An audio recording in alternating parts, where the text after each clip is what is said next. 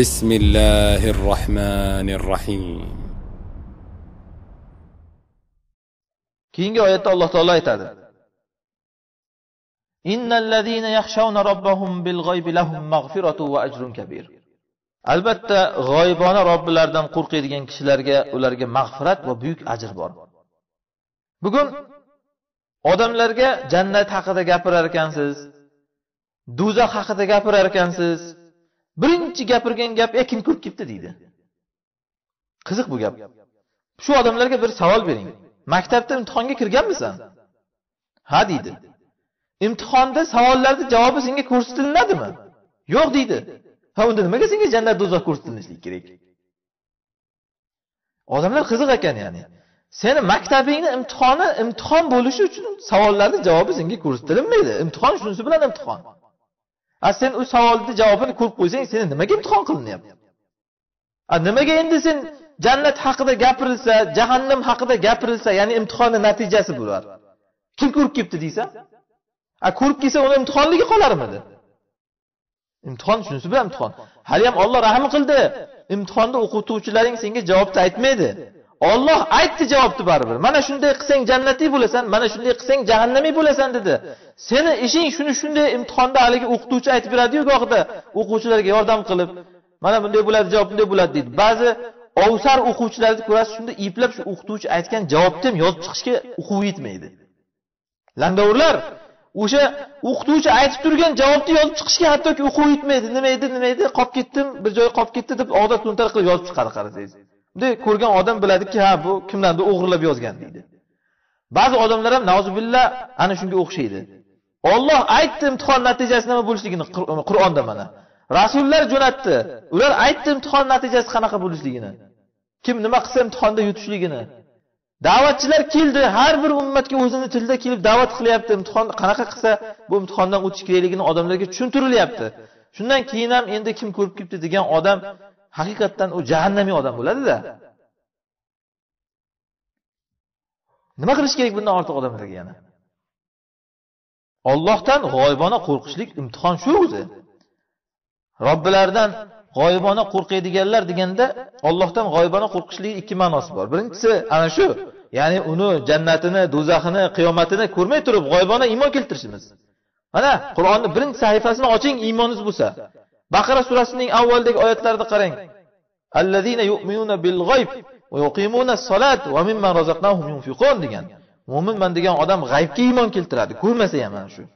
Namozni qoyim qiladi shu g'aybdan qo'rqib va infoq ehson qiladi. Birinchisi ollohdan g'oyibona qo'rqish ana shu. Ikkinchisi ollohdan g'oyibona qo'rqish deganda xilvatlarda hech kimni ko'zidan hammani ko'zidan xoli joyda bo'lsakda olloh kuzatib turganligidan qo'rqishligimiz. Bu rahmondan g'oyibona qo'rqish deyiladi bu iymonimizdan keyingi narsa. Mana alhamdulillah iymon keltirganmiz. Olloh borligiga yolg'izligiga jannatga do'zaxga. Bu birinchi bosqich dedik. G'oyibona ollohdan qo'rqishlikni ikkinchi bosqichi endi uni nima ekan? Endi shu iymon keltirgan zotimizga g'oyibda ham ya'ni odamlardan uzoq vaqtimiz ham xilvatimizda ham o'shandan qo'rqishligimiz ana shunday kishilarga buyuk mukofotlar mag'firatlar va buyuk mukofotlar bor. Oyatda ajoyib bir narsa bor qarang. Robbilaridan qo'rqiydiganlar g'oyibona. Ya'ni xilvatda bo'lsa ham ollohdan qo'rqiydiganlarga mag'firat bor deydi. Qiziq agar u xilvatdan ollohdan qo'rqsa o'zi u gunoh mag'firatga sazovor bo'ladigan mag'firatga haqli bo'ladigan gunoh qilmasligi kerak ediku bu bir biriga teskaridek emasmi bu? Ya'ni qanday qilib u rohmondan g'oyibadan qo'rqadida keyin uni mag'firat qilinadi. Nimasini mag'firat qilinadi? Masalan odam namozi mag'firat qilinadimi uni? Namoz u ibodatku nimasini mag'firat qilinadi uni? Zakoti mag'firat qilinadimi? U o'zi ibodatku u nimasi mag'firat u qabul qilinadi. U nima degani bu oyat? Robbisidan g'oyibona qo'rqadida keyin uni mag'firat qilinadi. Avvalambor uni o'tmishida masalan ollohdan qo'rqmagan vaqtlaridagi gunohlari mag'firat qilinadi. Ikkinchidan kishi ollohdan qo'rqadi lekin bu holatida doim bo'lolmaydi. Rasululloh sollallohu alayhi vasallam hanzala roziyallohu anhuga aytganlaridek valakin saa va saa ya hanzala. Bir soat odam unday bo'ladi bir soat bunday bo'ladi. Mana rasululloh alayhi vasallamni oldida o'tirsak deganlar jannatni do'zaxni ko'rgandek bo'lamiz. Hech xayolimizga gunoh masiyat hech narsa kelmaydi. Dunyoyimizga o'ralashsak odam izdan chiqib ketib qoladi xuddiki ollohni tanimagandek. Bezrayib gunoh qiladi odam xilvatda o'tirib olib nimaga endi shunday? Demak odamniga asosiy agar siyrati ollohdan qo'rqish bo'lsa g'oyibida ham sirrida ham. Endi ba'zida odamiylik qilib qo'yadi iymonni susayib. Ana shunda siz buni ollohdan qo'rqmaysan sen deyolmaysiz uni ommatan ollohdan qo'rqadi u.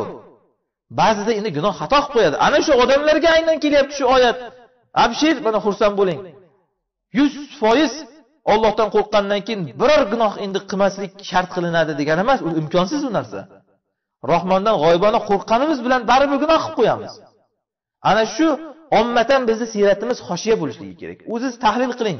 Bir kuningizda yigirma to'rt soat bo'lsa nechi soatida ollohdan qo'rqib yashaysiz nechi soatida bezrayib xilvatda o'tirib gunoh qilasiz? Agar kunduzda aksari ollohdan qo'rqmay qo'yilgan bo'lsa hamma ishingizda u. Tijoratingizdami hech har qanaqangi narsangizda ana bu xatar deyiladi. Sizga mag'firat u uzoq. Mag'firat kimga? Mag'firat asosi o'zi ollohdan qo'rqish bilan yashaydigan odamga. Endi bir ikki qonun tushiradi qo'pol qilib aytganda tezda tavba qiladi o'zini to'g'rilaydi pushaymon bo'ladi qilgan ishiga. Olloh oyatda aytgandek taqvodorlar shunday kishilarki shaytondan vasvas yopishadi ularga ham. Shu zahoti o'zini to'g'rilaydi bezraydi davom etavermaydi gunohida. Shunday qarabsizki to'g'ri yo'lni ko'radilar degan. Ana shularni endi bir ikki urilib turtilganiga qoqilganiga xato kamchiligiga mag'firat va'da qilinyapti inna rahmatollohi qoribun minal muhsinin deganidek ollohning rahmati ana shunaqangi ehson darajasidagi odamlarga ya'ni ollohni ko'rib turgandek ibodat qiladigan ollohni ko'rib turgandek bo'lolmasa uni ko'rib turgandek ibodat qiladigan amal qiladigan odamlarga ollohning mag'firati va'da qilinyapti. Odamlar hozir birovda shunaqa qilib tahlil qiladi. Seni deydi paloncha xatoying bor ekan paloncha gunohing bor ekan deydi. Ho'p yaxshiligiga ham qaragin. Keyin mana oyatga qaragin. Sen avvalo o'zingni qaragin. Qancha xatoying boru bir kuningda qancha gunohing boru va qancha savobing bor bir kuningda. Qaragin o'zing. Mana inson keyin bilib olaveradi mag'firatga haqlimi yoki haqli emasmi? Rasululloh sollallohu alayhi vasallam aytganlaridek saddidu va qoribu va abshiru deganlar. To'g'ri yo'lda yurishlikka yaqinlashinglar. Shu nishonga urishga harakat qilinglar. Endi baribir yuz foiz nishonga urolmaymiz. Ana endi xursand bo'laveringlar deganlar. Hayotlaring asosi to'g'ri yo'lda bo'lsa endi odamda odamiylik bo'ladi. Ana o'shalarga mag'firat va'da qilinyapti va buyuk ajrlar va'da qilinyapti. Endi qarang nima uchun alloh taolo buyuk ajrdan avval mag'firatni keltirdi? Ya'ni birinchi mag'firat ularga va'da qilinayotgan keyin ularga buyuk ajr. Chunki at tahliya qobla tahliya deyiladi. Ya'ni tozalash ziynatlashdan avval bo'ladi. Masalan devorni qarang oqlashimiz kerak. Birinchi o'rinda nima qilamiz? Changlarini tozalaymiz uni. Qo'parilgan joylarini qirib tashlaymiz. Tahliya deyiladi ana shuni. Tozalash. Keyin ana shuni ustiga ziynat uramiz. Ya'ni kraska suramiz ohak suramiz. Mo'minni jannatga kirgizishlikdan ham avval birinchi o'rinda tahliya kerak. Ya'ni uni tozalanadi qirib ana shu gunoh xatolarini kamchiliklarini tozalanadi. Keyin uni tahliya qilinadi ziynatlab ajrun kabirlar unga jannatlar beriladi. Keyin usul fiqda bir qoida bor. Ana shu oyatda shu qoidaga dalil qilinsa bo'ladi. Dafuddorar muqaddamun ala jalbin naf. Zararni daf qilish foyda keltirishdan ustun turadi. Qavoid darsida buni sharhlagandik mana qarang mag'firat nima edi mag'firat? Jahannam zararini daf qilish odamlardan. Jannat nima edi? U foyda. Usul fiqda bir qoida borki deyapmiz zararni daf qilish birinchi darajadagi ish. Foyda endi o'z o'zidan kelaveradi keyin. Zararni daf qilib olaylik ya'ni jahannamdan chiqilsa o'zi boshqa yo'lda qolib ketmaydi odam jannatga kiradi. Shuning uchun ham birinchi o'rinda mag'firat zikr qilinyapti. Undan keyin esa ajrun kabir zikr qilinyapti. Hamma kalamani uchun gunohda shuni bilib oling. Rizqingizni man qiladigan narsa gunoh aytdik. Tavfiqni man qiladigan narsa gunoh. Amalingizni qabul qilishligini man qiladigan narsa gunoh. Shuning uchun ham odamzod bir narsani so'rashdan avval istig'for aytishni o'rgansin. Chunki shu oldimizda turib qolgan to'g'anoq gunoh yo'q bo'lsa o'z o'zidan qolgan hammasi kelaveradi keyin. Mana turbaga bir axlat tiqilsa u yoqdan suv purkaverganni foydasi yo'q. Axlatni tozalash kerak. Aks holda u toshadi toshadi boshqa joyga isrof bo'ladi. Ana shu narsani salaf solihlar tushunar edi o'zi mo'minlarga hayotda eng katta maqsad ularga mag'firat bo'lar edi. Ular ollohdan qo'rqib yashar edi hozirgi odamlarga qarasangiz mag'firat haqida gapirar ekansiz men nima gunoh qilibman deydi. Bir muammo kelsa boshiga ey olloh men nima gunoh qildim senga? deydi. Mo'min haqiqiy mo'minni esa hayotdan g'ami bor yo'g'i ana shu gunoh kechirilishi bo'ladi. Mana umar roziyallohu anhu aytganlar vadittu an anjuva kafafan la liya va la alayya. Qarang kim aytyapti bu gapni? Umar roziyallohu anhu aytyaptilar men istardimki shu amallarim tengma teng bo'lib qolsa ham katta gap edi deganlar qarang. Lali vala alayya meni foydamga ham bo'lmasa zararimga ham bo'lmasa ham mayli edi degan. Tasavvur qilyapsizmi? Ya'ni amallarim meni solih amallarim bilan yomon amallarim barvar bo'lib qolsa ham katta gap hali deyaptilar. Mag'firatga shu darajada haris bo'lgan mo'minlar eng qo'rqqan narsasi gunohi bo'ladi. Shu uchun ham alloh ularga tasalli berib birinchi o'rinda ularga ajrun kabirdan avval mag'firatni gapiryaptiki qo'rqmanglar sizlarga mag'firat bor. Ana shunday qo'rqqan odamga mag'firat bo'ladi. U men nima gunoh qilibman deydi og'zini bir chekkasidan chiqarib oladi odamlar. Sirat ibn ashiyam buyuk zohid taqvodor insonlardan. Shu kishini yirtqichlar ko'rsa u kishidan qochar edi. Shu darajada taqvodorligidan qarang. Yirtqich hayvon ko'rsa u kishiga shikast bermasdi. Ana shunaqangi avliyo odam bo'lgan. Lekin ana shu kishi aytgan ekanlar duo qilar ekanlar tahajjudda turib aytar ekanlar ya rob ajirni minannar aw misli yasalul janna. Ey robbim shu menga jahannamdan qutqarsang ham bo'ldi. Mendek odam jannatni so'rashga endi haqlimidir ekan qarang. Hozir odamlar jannatni sotib qo'ygandek gapiradi. Sen jahannamiysan men jannatga kirib ketaman hali ko'rasan deydi. Sirat ibn ashyam katta zohid obid insonlardan yirtqich uni ko'rsa qochgan. Ey rob meni jannat so'rashlik menga loyiqmikan meni jahannamdan qutqarsang ham katta gap degan. Mag'firat eng asosiy maqsadi bo'lgan. Chunki agar mag'firat qilinsa o'z o'zidan endi u qolgan hamma narsa bo'lib ketadi u. Mag'firat qilib keyin o'rtada bir joyda qolib ketmaydi odam. Sufyon rahimaulloh vafot etayotganlarida oldilarida mashhur muhaddis hammod ibn salama o'tirganlar.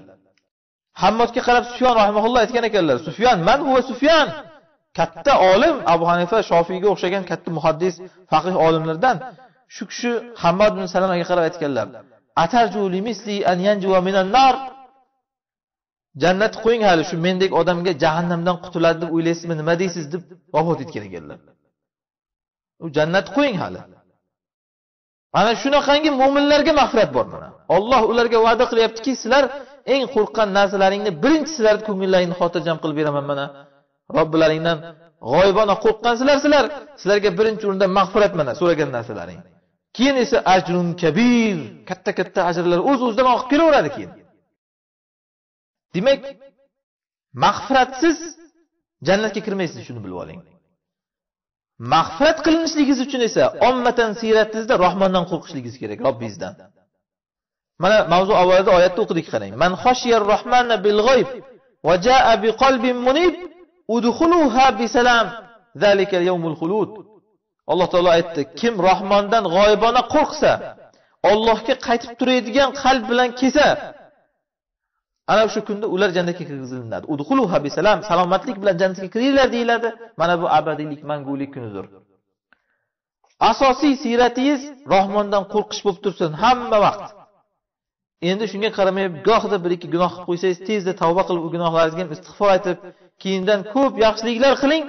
Inshaalloh ana shundagina umid qila olasiz rohman sizni mag'firat qilishligini va uning keyinidan buyuk ajrlar berilishligini